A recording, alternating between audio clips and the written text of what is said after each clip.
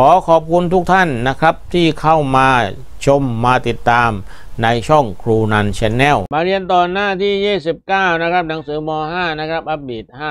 5 read the text again นะครับให้อ่านบทความอีกครั้งหนึ่งนะครับ เรื่องมารยาทดีและไม่ดีนะครับ และในการตอบคำถามข้อ 1 ถึงข้อ 5 นั้นให้เลือกคำตอบที่ถูกต้องที่สุดนะครับ จากเนื้อเรื่องหน้าที่ 28 เมื่อกี้นะครับนะเขาถามมาข้อที่หนึ่ง what is the writer main purpose in writing the text แปลว่านะครับผู้เขียนมีจุดประสงค์อะไรนะครับ ในการเขียนเรื่องอามารยาทดีและไม่ดีนะครับ ข้อ A to talk about people's bad habit เพื่อที่จะพูดเกี่ยวกับพฤติกรรมที่ไม่ดีของเด็กนักเรียนนะครับนะ pupil ของเด็กนักเรียน ข้อ B to try to change society นะครับ พยายามที่จะเปลี่ยนสังคม ข้อ C to encourage children to respect each other ต้องการที่จะให้กำลังใจเด็กๆนะครับ ให้มีความเคารพซึ่งกันและกัน ข้อ D to discuss a way to improve children manner ต้องการที่จะปรึกษาหรือเพื่อที่จะพัฒนานิสัยของเด็กๆนะครับ ดังนั้นข้อที่ถูกต้องที่สุดก็คือข้อดีนะครับนะต้องการที่จะปรึกษาหารือแล้วก็พัฒนามารยาทนะครับ นิสัยมารยาทนะครับแมนเนอร์ของเด็กๆ ไปข้อสองต่อนะครับแม็กกี้โอเรลนะครับเป็นผู้ดำเนินการโครงการนี้นะครับ things you should มีความคิดว่าคุณควรทำอะไร คุณควรเป็นแบบไหนหนึ่ง teach manner when children are still young ให้สอนมารยาทแก่เด็กๆ ในขณะที่พวกเขายังเป็นเด็กอยู่ B give lessons on manners to teacher นะครับนำบทเรียนนี้นะครับ ไปบทเรียนเรื่องมารยาทนี้นะครับ ไปให้คุณครูเป็นผู้สอนนะครับนะ ตามโรงเรียนต่างๆ 4. นะครับ show parents how to teach their children นะครับ บอกคุณพ่อคุณแม่นะครับ ถึงวิธีในการสอนลูกๆ D นะครับ instruct parent instruct parent to be less busy นะครับ ให้คำแนะนำแก่คุณพ่อคุณแม่ ว่าให้หาเวลาว่างนะครับนะเพื่อที่จะสอนลูกๆนั่นเอง ดังนั้นข้อที่ถูกต้องที่สุดก็คือข้อ A นะครับ ก็คือสอนเด็กๆ ตั้งแต่พวกเขายังยังยังอ่าเป็นยังเล็กอยู่นะครับนะความหมายยังไม่แก่เกินแกงว่าอย่างนั้นนะครับ ข้อที่สามครับผม What would a reader learn about Maggie O'Farrell from the text ครับผู้อ่านนะครับได้เรียนรู้อะไรเกี่ยวกับเนื้อเรื่องของ Maggie O'Farrell บ้างข้อ A นะครับผม she cannot teach math นะครับ เขาไม่สามารถหล่อนไม่สามารถสอนวิชาคณิตศาสตร์ได้ข้อ B she knows how to be polite ท่านรู้หรือว่าหล่อนรู้นะครับ ก็คืออาจารย์ฟอร์เรลนะโอฟอร์เรลนะครับ รู้ถึงวิธีในการที่จะทำให้เป็นคนสุภาพเรียบร้อย C she can only teach six years old หล่อนสามารถอสอนนะครับเฉพาะเด็กอายุแค่หกขวบเท่านั้น D she study at the p e t i s Protocol School นะครับ หล่อนหรือว่าท่านเรียนอยู่ที่โรงเรียน p e t i s Protocol School นี่ก็สุดท้ายที่ผิดเลยนะครับ ไม่ใช่เรียนนะครับนะ เป็นคุณครูนะครับ สอนอยู่ที่โรงเรียนนี้ แต่ข้อที่ถูกที่สุดก็คือข้อ B นะครับ She knows how to be polite นะครับ ท่านทราบดีว่าจะสอนอย่างไรให้เด็กเป็นคนถึงวิธีที่จะเป็นคนสุภาพนะครับ เรียบร้อย ข้อที่สี่ครับ pupils นะครับแปลว่าเด็กนักเรียนนะครับ enjoy these classes because สนุกสนานกับหลักสูตรนี้นะครับ เพราะอะไรข้อเอนะครับ they can meet the president เพราะพวกเขาจะได้ไปพบท่านประธานาธิบดีข้อ B they learn about the future พวกเขาได้เรียนรู้เกี่ยวกับอนาคตข้อ C they are helpful to their future life พวกเขานะครับจะได้มีความ เป็นคนที่มีความอบว่ามารีช่วยเหลือผู้อื่นนะครับ เมื่อเขาใช้ชีวิตในอนาคตที่ดีขึ้นนะครับข้อดีนะครับ they learn not to spill things on people เขาจะเรียนรู้ถึงวิธีไม่ได้ทำวิธีการไม่ทำอะไรให้หกใส่คนอื่นนะครับ ตอบข้อสี่นะครับ ถูกต้องที่สุด ก็คือพวกเขาได้เรียนรู้เรื่องความมีน้ำใจอบว่ามารีนะครับ และก็นำไปใช้ในชีวิตในอนาคตนะครับ ข้อ 5 which of the following is the best describe of the pet child protocol school ข้อความต่อไปนี้นะครับ ข้อความใดเป็นข้อความที่ถูกต้องที่สุดในการบอกรายละเอียดของโรงเรียน protocol school นะครับ pet child protocol school ก็เอโรงเรียนแห่งนี้นะครับ This is the only school of its kind in the world โรงเรียนแห่งนี้เป็นโรงเรียนเดียวนะครับที่อาจใจดีมากๆในโลก ข้อ B นะครับ It is a school for children who have a broken the law โรงเรียนแห่งนี้เป็นโรงเรียนสำหรับเด็กๆที่ทำผิดกฎหมาย ข้อ C It is a regular school with extra courses for young pupils โรงเรียนแห่งนี้นะครับเป็นโรงเรียนที่สอนหลักสูตรพิเศษนะครับสำหรับเด็กนักเรียนวัยรุ่นเท่านั้นก็ดีนะครับ parents like it and relies on it to help them bring up their children ผู้ปกครองนะครับ ชอบโรงเรียนแห่งนี้นะครับ เพราะว่าสามารถที่จะพึ่งพาได้นะครับ และพวกเขาก็สามารถสามารถพึ่งพาได้นะครับในการที่ช่วยเลี้ยงนะครับ ลูกๆของเขานะครับ ก็ตอบข้อดีนะครับ คือพ่อแม่นะครับ ผู้ปกครองสามารถที่จะพึ่งพาโรงเรียนอย่งนี้ได้ และก็ สามารถที่จะเลี้ยงดูลูกๆของเขานะครับ แล้วก็สอนให้เป็นคนมีมารยาทดีด้วยนะครับหลานถ้าเสริมเพิ่มเติม ตอบข้อดีนี้นะครับ ไปต่อหัวข้อที่สามนะครับผมนั่นก็คือ match the words นะครับ ให้จับคู่คำศัพท์ into columns ให้สองคอลัมน์นี้เข้าด้วยกันนะครับ then use the braces to make sentences of your own แล้วก็ให้นำวลีต่อไปนี้นะครับ ไปแต่งประโยคนะครับ ด้วยสำนวนของนักเรียนเอง นั่นก็คือนะครับข้อแรก check กับ have นะครับ ให้ใช้คู่กับข้อ B นะครับ ก็คือ lesson take take lesson หรือ have lesson แปลว่ามีบทเรียนนะครับนะก็คือมีหลักสูตรการสอนนะครับ มีคาบเรียน ข้อที่สองนะครับเบรกใช้คู่ข้อดีนะครับเบรก bad habit นะครับ ก็คือหยุดพฤติกรรมที่ไม่ดีนะครับนะก็คืออ่าสอนให้เขาประพฤติดีนั่นเองนะครับ ข้อสามนะครับ teach นะครับก็คู่กับข้อ A นะครับ a good manner ก็คือสอนมารยาทที่ดีนะครับ ใส่ไปพยัญชนะ A ลงไปหลังเลขสามนะครับ และข้อที่สี่นะครับ treat somebody นะครับ ให้เติมข้อ C นะครับ treat somebody with respect นะครับ ก็คือปฏิบัติต่อบางคนนะครับ ด้วยการให้ความเคารพนับถือนั่นเอง ก็ใส่พยัญชนะ C ลงไป แล้วนำเอาคำสำนวนวลีต่อไปเนี่ยนะครับ มาแต่งประโยค นั่นก็คือว่าประโยคที่หนึ่งนะครับ I want to learn to ride a horse why don't you take lesson นะครับเอพูดว่านะครับ ฉันต้องการที่จะเรียนขี่ม้านะครับบีก็เลยถามว่าแล้วทำไมคุณไม่ไปเข้าคอร์สการเรียนล่ะนะครับ ตัวแดงๆนี่ก็คือคำสำนวนที่เรียนมาเมื่อกี้นะครับ ข้อสองนะครับ it takes a lot of work and patience to break bad habits such as biting your nails นะครับมันมีงานที่ต้องทำอีกมากมายนะครับ แล้วก็ต้องใช้ความอดทนด้วยนะครับ ในการที่จะหยุดพฤติกรรมที่ไม่ดีนะครับ เช่น อย่ากัดนิ้วตัวเองข้อสาม it is best to teach children good manners when they are young มันเป็นการดีที่สุดนะครับ ในการที่จะสอนมารยาท ที่ดีให้กับเด็กๆ ในขณะที่พวกเขากำลังเล็กอยู่นะครับ you should treat your parents with respect คุณควรที่จะให้ความเคารพนับถือต่อคุณพ่อคุณแม่นะครับ เพราะว่า they care for you and are the ones you can always turn to for help เพราะท่านคือนะครับคนที่ดูแลจะใส่คุณและท่านนะครับคือบุคคลคนเดียวนะครับ เท่านั้นนะครับที่สามารถช่วยเหลือคุณได้นะครับ ต่อไปข้อที่สี่ครับผมให้ complete is sentence ให้ทำประโยคแต่ละประโยคให้สมบูรณ์นะครับ with the correct preposition ด้วยการเติมนะครับคำบุพบทที่ถูกต้องลงไป check in the text นะครับ แล้วก็ให้ตรวจสอบในเนื้อเรื่องนะครับนะ ข้อหนึ่งนะครับ don't speak with your mouth full of cake อย่าพูดนะครับในขณะที่กำลังกินเค้กอยู่เต็มปาก ข้อสองนะครับ John is speaking on the phone นะครับ ตรงนี้ใส่คำว่า on นะครับจอนนั้นกำลังคุยโทรศัพท์อยู่ ข้อสามนะครับ Anne isn't at work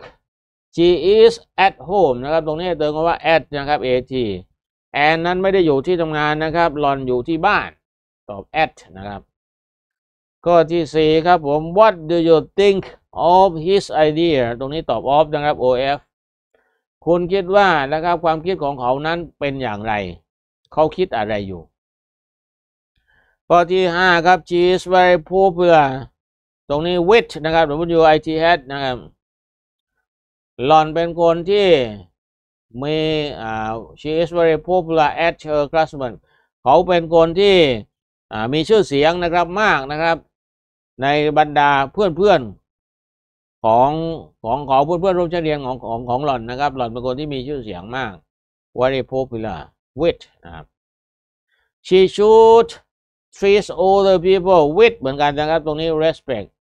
หล่อนควรที่จะปฏิบัติต่อคนที่มีอายุกว่านะครับ ด้วยการให้ความเคารพนะครับนะ with W I T S เหมือนกัน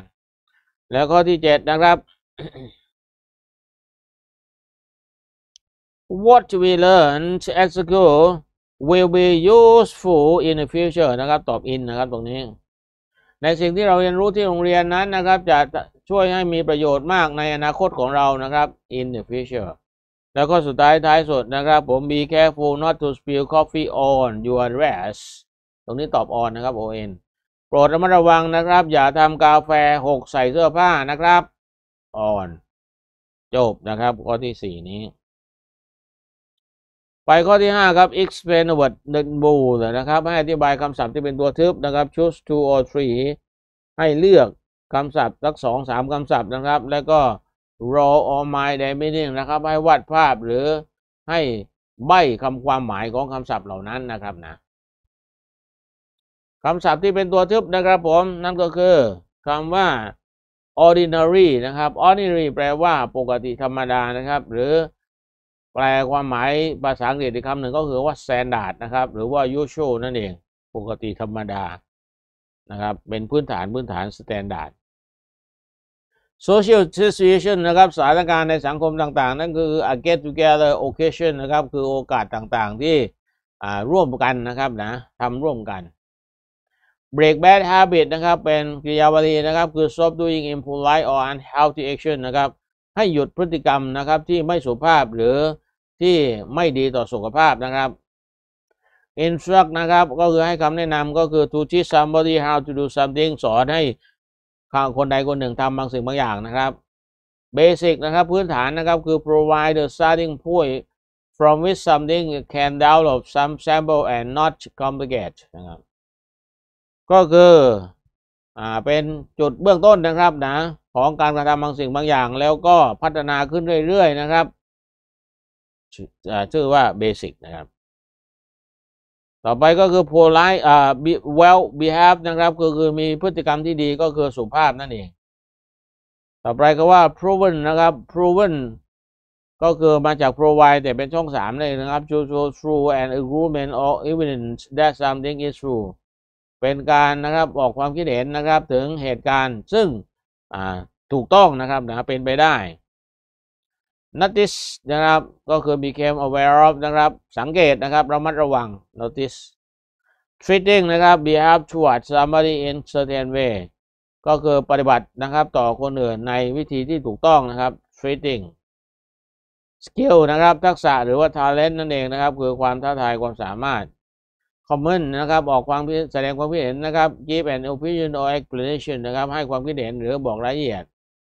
spill นะครับทำหกทำตกหล่นนะครับนะคือ to cause to flow over the edge or beyond the limit of something ก็คืออ่าเป็นเหตุนะครับ ให้บางสิ่งบางอย่างไหลออกมา จากขอบหรือจากอ่าสิ่งที่อ่าเราใส่ไว้นะครับเกิน limit นะครับ life changing นะครับ เปลี่ยนชีวิตนะครับ ก็คือ so important important that it can affect your whole life เป็นสิ่งที่สำคัญมากนะครับ ที่จะส่งผลต่อชีวิตของคุณนะครับ growing up นะครับโตขึ้นนะครับก็คือ to get older นะครับ สูงอายุขึ้นแก่ขึ้น value นะครับ มีค่า to consider something important พิจารณาว่าบางสิ่งบางอย่างนั้นสำคัญมากๆนะครับ ก็คือให้ค่านั่นเองมีค่า something remains to be seen ก็คือ something is not yet certain นะครับ อ่าบางสิ่งบางอย่างนั้นเป็นเรื่องไม่แน่นอนนะครับผม นี่คือคำแปลของตัวทึบ ต่อไปนักเรียนเขียน portfolio นะครับ เป็นผลงานก็คือ you have been asked to make a leaflet on how a visitor to your country should be helped by uh, dining out ให้คุณออกความคิดเห็นนะครับนะเกี่ยวกับนักท่องเที่ยวนะครับ ในขณะที่รับประทานอาหารนะครับ divide the leaflet into two section ให้แบ่งลิฟเล็ตนะครับ ออกเป็นสองสองแผนกนะครับ หรือว่าสองสองฝั่งนะครับ with do s t a m e t and don't s t a m e t ก็คือในฝั่งที่สมควรกระทำและไม่สมควรกระทำนะครับ d e d i t i o n นะครับ one of good table manner สิ่งหนึ่งที่เป็นมารยาทในการรับประทานอาหาร and one for bad และอีกฝั่งหนึ่งเป็นมารยาทที่ไม่ดีนะครับ work in pair ให้ทำการเป็นคู่นะครับ and decorate your leaflet แล้วก็ให้ตกแต่งใบปลิว leaflet ของนักเรียนนะครับ with photograph ด้วยรูปภาพ or your own drawing หรือวาดขึ้นมาเองนะครับ นั่นก็คือมารยาทในการรับประทานอาหารในประเทศไทยนะครับนะ when you dine out in Thailand เมื่อคุณออกไปรับประทานอาหารนะครับ ในประเทศไทยนะ remember to follow these tips ควรปฏิบัติตามหัวข้อดังต่อไปนี้นะครับ do the best นะครับก็คือควรปฏิบัติ สิ่งที่ควรปฏิบัติก็คือหนึ่งนะครับ wait until you are seated before starting to eat ให้รอนะครับ รอจนกระทั่งว่ามีบุคคลอื่นนะครับ ที่จะมาร่วมรับประทานด้วยนั้น นั่งพร้อมหน้ากันเรียบร้อยแล้วนะครับ ถึงจะเริ่มรับประทานพร้อมๆกันสองนะครับ cut your food into bite-sized pieces นะครับในการรับประทานอาหารนะครับต้องตัดอาหารหรือหั่นอาหารให้ออกเป็นชิ้นเล็กๆก่อนนะครับนะก่อนที่จะรับประทาน ถ้าเกิดอาหารนั้นเป็นชิ้นใหญ่นะครับนะ